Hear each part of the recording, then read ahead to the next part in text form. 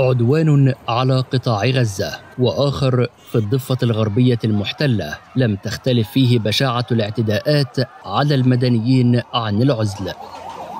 داخل مدن وبلدات الضفة المختلفة يواصل الاحتلال هجماته بالغارات والمسيرات والمدرعات. يهدمون المنازل والبنى التحتية ويعتقلون العشرات. يهددون وينكلون وحتى يسرقون. ولا يتركوا مكان دخلوا فيه إلا وخرجوا منه مخربين.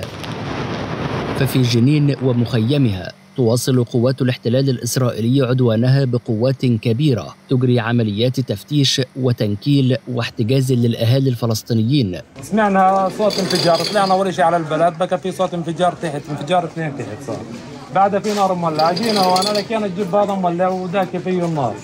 وما حدا قدر يقرب عليه ضلنا واقفين قال تاج الدفاع المدني وفي مخيم الفارعة للاجئين بمحافظة طوباس نفذ جيش الاحتلال مداهمات في المنطقة وشنوا عدة هجمات أسفرت عن استشهاد وإصابة عدة فلسطينيين. خربوا بنية تحتية كثير في المخيم.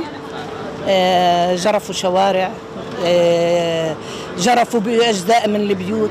قصفوا بيوت العبادة وهذا أكثر شيء عز علينا وأبكانا. بيوت العبادة دمروها. هذا أكثر شيء عز علينا. مشاهد مأساوية مشابهة تواجهها عدة بلدات في الضفة الغربية بعد عمليات موسعة لجيش الاحتلال وكأن الظلام الذي غرقت فيه غزة يلقي بظلاله على الضفة.